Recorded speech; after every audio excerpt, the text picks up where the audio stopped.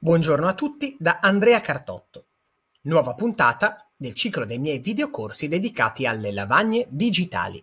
Come riprodurre dunque anche a casa in uno scenario di didattica a distanza, la DAD, il contesto della lavagna interattiva multimediale, dunque la nostra LIM.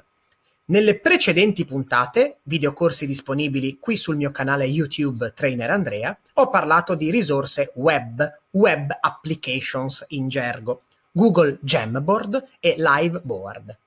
Quest'oggi invece vi parlo di un vero e proprio software, dunque un programma che ha numerose caratteristiche positive che lo fanno essere una risorsa preziosa per la nostra didattica. Open Board. Open Board è un vero e proprio software autore per la LIM, dunque installabile ed utilizzabile anche a scuola, laddove sia disponibile la LIM, è usabile tranquillamente a casa da parte del docente, soprattutto in questo momento perché oltre che essere semplice ed immediato, mi consente di registrare la mia lezione così come la sto tracciando.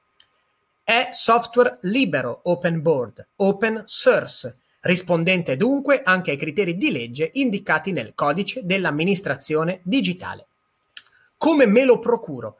Da un qualsiasi browser accedo all'indirizzo che osserviamo qui nella barra degli indirizzi openboard.ch, dove il dominio sta per Confederazione Elvetica. Posso cliccare su Italiano per avere il sito in lingua italiana e cliccare su Ottieni Openboard liberamente, potendo così scoprire che il software, oltre che essere libero, gratuito e dunque avere un valore educativo e culturale, è possibile eh, scaricarlo per Mac OS, sistema operativo di Apple, sistema operativo Windows e Ubuntu. Sempre in gergo, così come sapete mi piace rendere i termini assolutamente accessibili a tutti, questo è un programma multipiattaforma.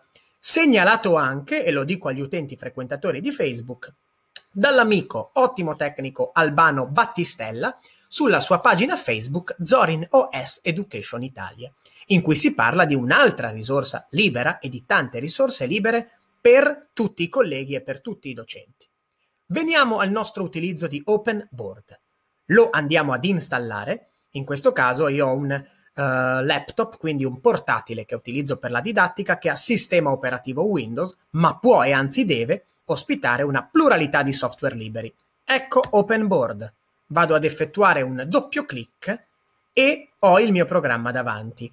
Attenti, eh, qui ha tenuto in memoria il programma un mio ultimo utilizzo, in cui, per replicare il contesto scolastico quanto più possibile, avevo utilizzato lo sfondo classico in ardesia nero quadrettato. Gli sfondi si cambiano con un clic sul bottone sfondi in alto. Semplicissimo. Foglio bianco, quadrettato bianco, rigatura bianca e così via. Eh, andiamo ad impostare il quadrettato che già avevamo. Chiudo con X. Barra degli strumenti a sinistra, che con un clic si espande o comprime, con le miniature delle pagine. Con un clic su pagine, ecco che genero tutte le pagine che mi sono necessarie per la lezione. Un clic a destra sulla freccina riguardante la barra degli strumenti e vediamo che è possibile assolutamente prelevare, rendere quindi la lezione interattiva e multimediale, immagini, filmati, file audio e molto altro, oltre alle forme geometriche naturalmente. Facciamo un esempio. Eccole qua, pronte a nostra disposizione. Posso creare con estrema facilità una mappa concettuale direttamente alla lavagna. Vado ad applicare però uno sfondo chiaro. Clic, come vediamo, una quadrettatura, perché no?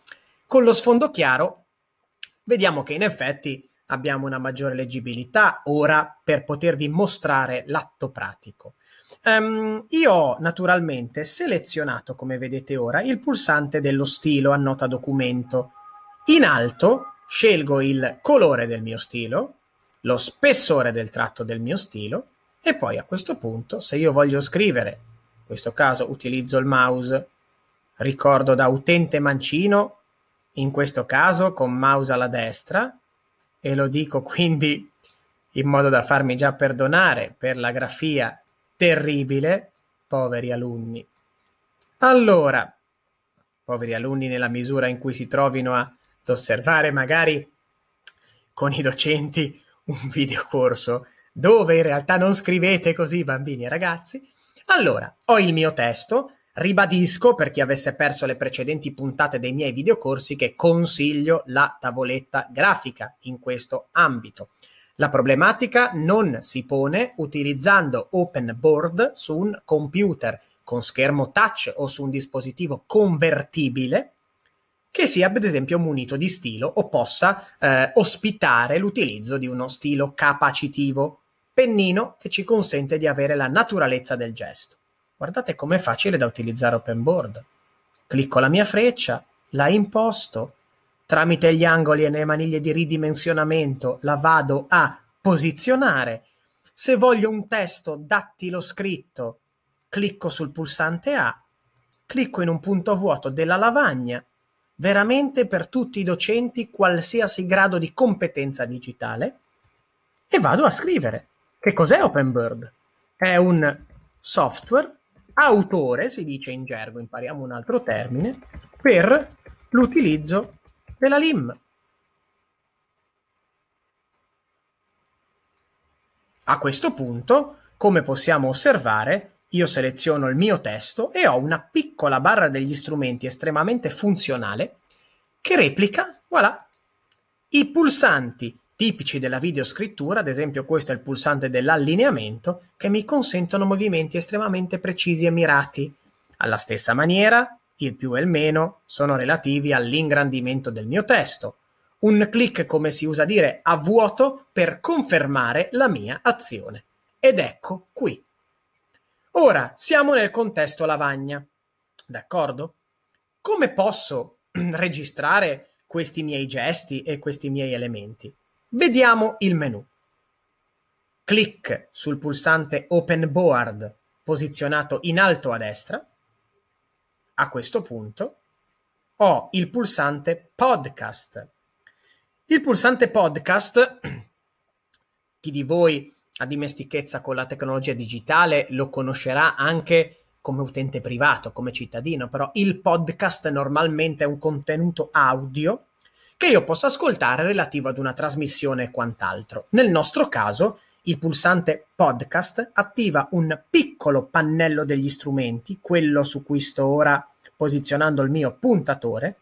Non appena io vado a selezionare dapprima questa piccola freccina a destra vado a cliccare su pieno, verifico che sia selezionato il microfono che intendo utilizzare. In questo caso il mio portatile ha sia il microfono interno, quello presente accanto alla webcam nei nostri portatili, sia il microfono cuffia. Entrambe le sorgenti audio andrebbero bene per registrare il commento del docente mentre scrive sulla LIM e chiaramente vengono registrati sia l'audio che tutto ciò che viene scritto sulla LIM. Lascio dunque nel mio caso personale le impostazioni come sono, non faccio altro che cliccare sul bottone rosso. Da registrazione il bottone passa e diventa un quadrato per lo stop quando sarà necessario, io vado ad arricchire. Clic sulla casetta, ancora magari la mia lezione di un elemento, per cui andiamo un po' a vedere nelle immagini cosa possiamo avere a disposizione, andiamo ancora a prendere per esempio le forme.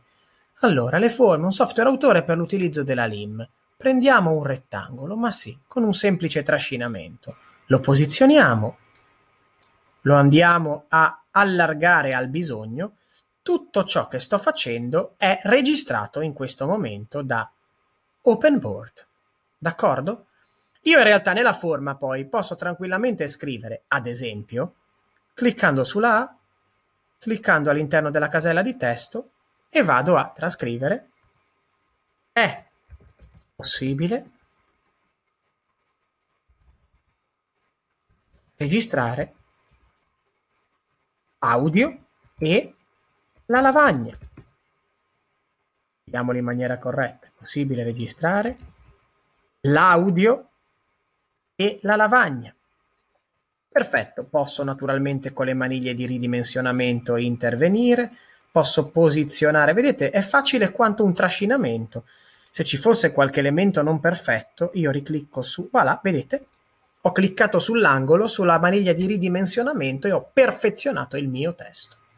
A questo punto, quando termino, faccio un clic sul quadrato che vale come stop. La registrazione viene salvata sul desktop in formato WMV. Eh, è un formato Windows, quindi un formato Windows Media. Eh? Andiamo un attimino a vedere dove è situato. Per cui ho terminato il mio lavoro, d'accordo? Per guardare il desktop potrei addirittura cliccare su Mostra desktop rimanendo in open board. Pensate infatti, guardate, facciamolo un attimo, clic.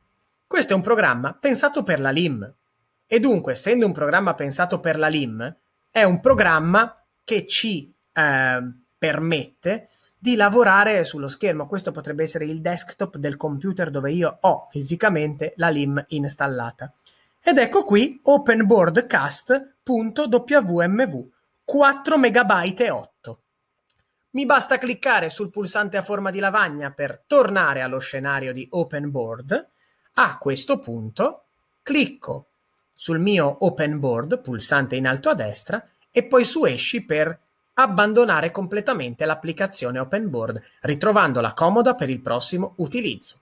Il mio video può essere caricato regolarmente sulle piattaforme in grado di ospitarlo. Penso al canale YouTube del docente, penso a Google Drive e da lì condiviso sotto forma di link anche sul registro elettronico.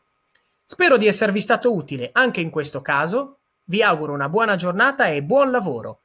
Eh, una segnalazione, ricordiamoci che la didattica digitale non è necessariamente a distanza, la didattica digitale è di tutti e per tutti, però bisogna mettersi in gioco, formarsi e acquisire le corrette competenze digitali. Grazie!